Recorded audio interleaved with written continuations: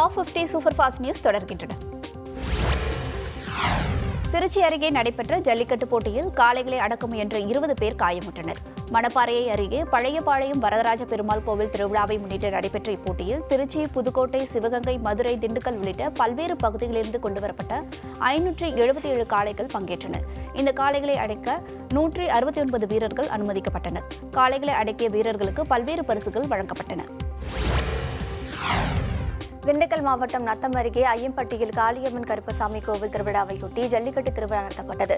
வாடி வாசலில் இருந்து சீறி பாய்ந்த காளைகளை சீருடை அணிந்த நாடுபிடி வீரர்கள் ஆர்வத்துடன் மடக்கி பிடித்தனர்.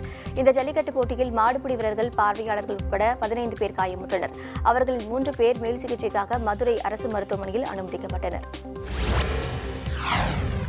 இங்கிலாந்து பிரதமர் பதவிக்கான போட்டி நிலவி வரும் நிலையில் அமெரிக்க அதிபர் ட்ரம்ப் போரிஸ் ஜான்சனுக்கு தனது ஆதரவை தெரிவித்துள்ளார். பிரெடிக் திட்டத்தை நிறைவேற்ற முடியாத நிலையில் தெரேசா மே தனது இங்கிலாந்து பிரதமர் பதவியை ராஜினாமா செய்வதாக அறிவித்தார். தற்போது பிரதமர் பதவிக்கான அமெரிக்காவின் ஆதரவு பெற்றிருக்கும் போரிஸ் ஜான்சன் முன்னாள் இங்கிலாந்து வெளியுறவுத்துறை அமைச்சர் பதவி வகித்தவர் என்பது குறிப்பிடத்தக்கது. வடகொரிய வெளியுறவுத்துறை அதிகாரிகளுக்கு அந்நாட்டு அதிபர் ஜாங் உன் மரண தண்டனை விதித்துள்ளதாக தகவல் வெளியாகியுள்ளது.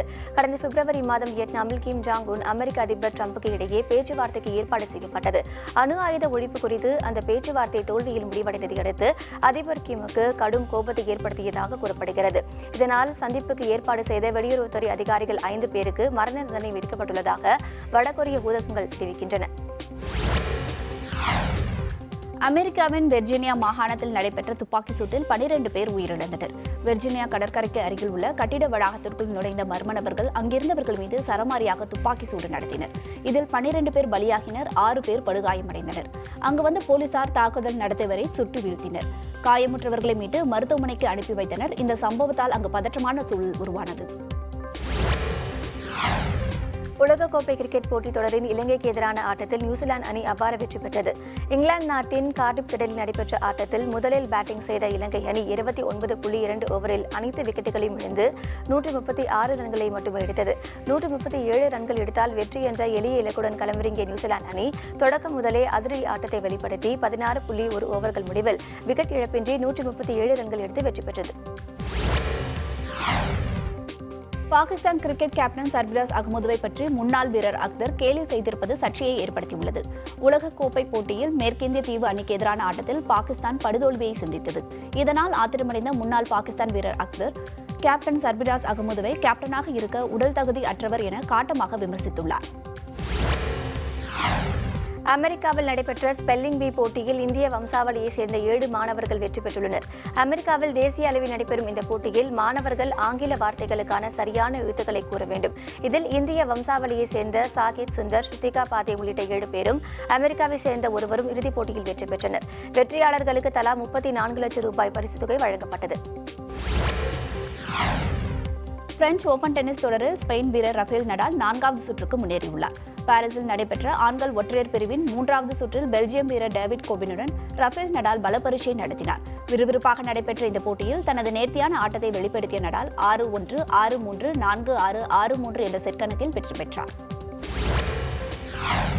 இயக்குனர் கரு பழனியப்பன் கதாநாயகனாக நடிக்கும் கல்லன் படத்தின் ஃபர்ஸ்ட் லுக் போஸ்டர் வெளியாகியுள்ளது.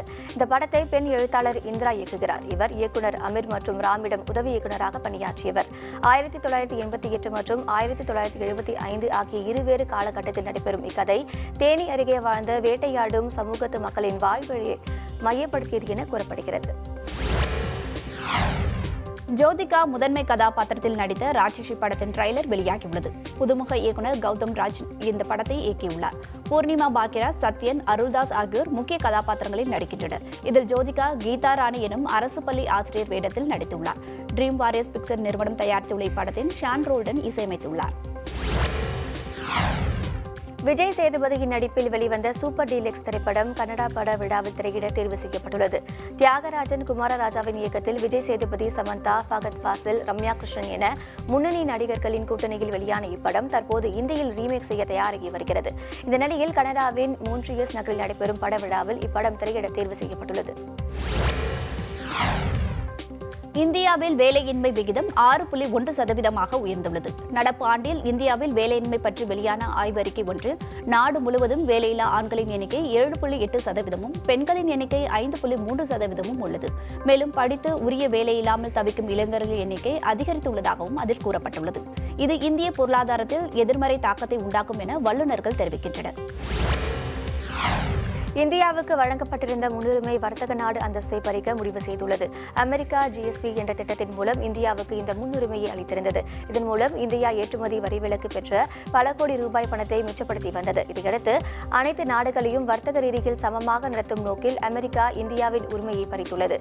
இந்த மாற்றம் வரும் ஜூன் ஐந்தாம் தேதி முதல் அமலுக்கு வருகிறது. இந்தியாவின் மொத்த உள்நாட்டு வளர்ச்சி விகிதம் சரிவை சந்தித்துள்ளது. ஜனவரி முதல் மார்ச் வரையிலான காலாண்டில் உள்நாட்டு வளர்ச்சி விகிதம் ஐந்து புள்ளி எட்டு சதவீதமாக குறைந்துள்ளதாக மத்திய புள்ளியியல் துறை அமைச்சகம் தெரிவித்துள்ளது.